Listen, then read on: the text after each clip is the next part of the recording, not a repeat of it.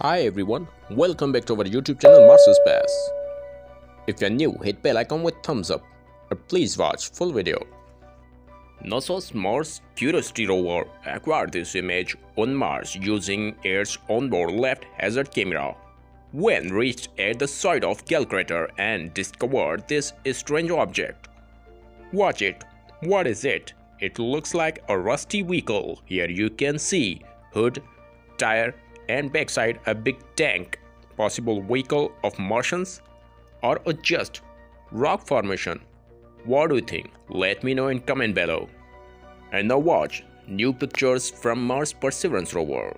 The Rebel R is still in the carousel. NASA's Mars Perseverance rover captured these images using its SHERLOC Watson camera for the carousel and has scanned for the rest of photos captured on 13 January 2022 sol 320.